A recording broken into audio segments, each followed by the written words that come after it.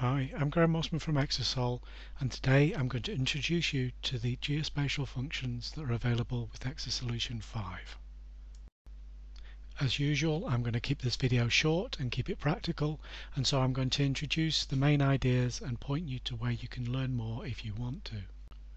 Firstly, the term geospatial refers to the science of describing geographical objects so that you can answer the question where in your analytics. In other words, geospatial is for when you want to analyze a process over space as well as over time. Geospatial objects are described by a hierarchy of data types, starting with a point, which is described by two coordinates, usually latitude and longitude. A set of points can make a linear string, and a linear string which ends at the same place it starts is called a linear ring. Then we can construct the most important geospatial data type, the polygon, which is a linear ring which might have holes in it. For example, within the borders of Italy there are two other countries, San Marino and Vatican City. When we talk about Italy, we are talking about a polygon composed of a linear ring with two holes, themselves polygons, within it. We can take this definition up a level by creating groups of points and groups of polygons.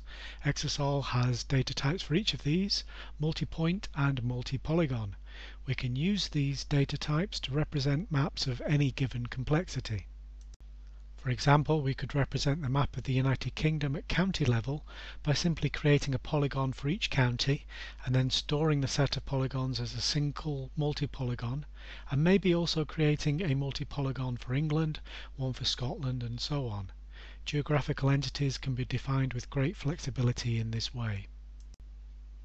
The whole of the UK is far too complex for demo purposes. Instead I'm going to restrict myself to just one of the London boroughs, Camden. This has quite a complex shape, but in the database we can easily represent it as a single polygon composed of over 120 points. In this demo I will also refer to the three fire stations which currently exist in Camden and I will also imagine a fictional one in the southwest corner of the borough. First I need to create a simple table to hold my demo data Place name, postcode, latitude and longitude are stored in simple data type columns, but the geospatial information is stored in a column called GPS with the data type of geometry. Now I can insert Camden into my places table as a single 120 sided polygon. I can then insert the point locations of the three real fire stations and I can also create a multi-point called Camden Fire Stations which defines a set containing those three points so that I can answer some questions about all of the fire stations in Camden. Finally, I define a point, which is where I'm thinking of building a new fire station. Now that we have our data in the database, we can start asking some questions. First, let's look at the stcontains function, which allows us to calculate whether one geospatial object is completely inside another one. I'm going to use it to check that the point location of Camden Market is within the polygon representing the borough of Camden. I'm pretty confident it is, but stcontains can prove it for me. In the same way, I can check whether Buckingham Palace is in Camden. The answer in this case is a resounding false. A reasonable follow-up question would be, well, how far is Buckingham Palace from Camden? I can answer this using the stdistance function to find the distance between the point location of Buckingham Palace and the nearest point on the edge of the polygon representing Camden. Note that in my example the coordinates are expressed in degrees of latitude or longitude, so st distance gives me an answer in degrees. I need to apply a conversion factor if I want an answer in kilometers. I can now demonstrate some quite complex questions. For example, what are the coordinates of the middle of Camden?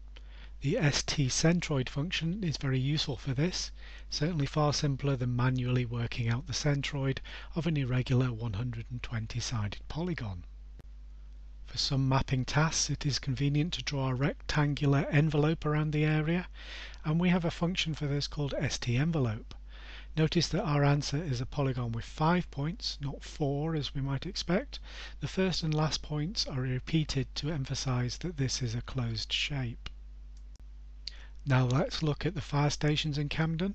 There are three existing points which we've stored as a single multi-point data type.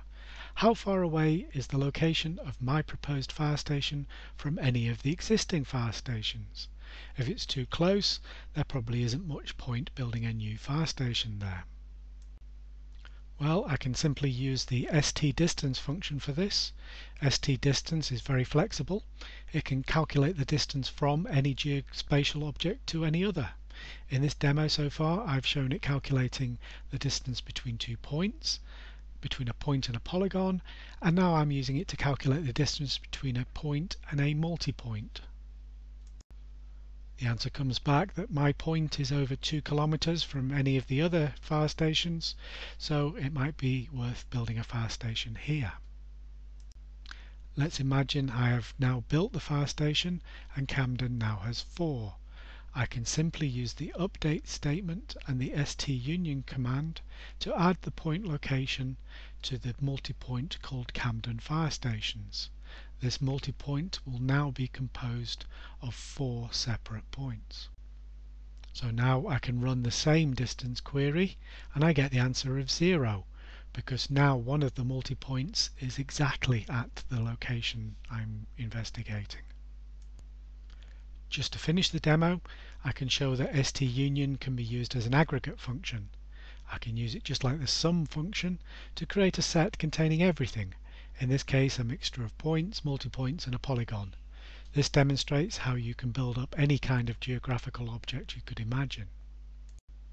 To close, I want to emphasize that this has been an introduction.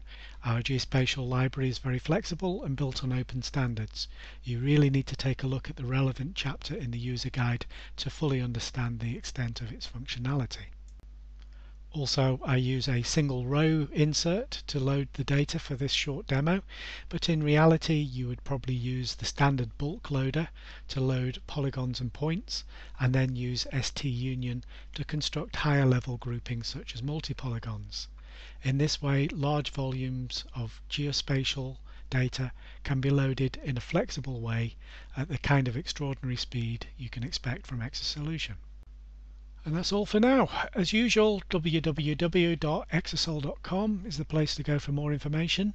I hope this video has inspired you to check out Geospatial and the other great features available in Exasolution 5. Thanks for your attention.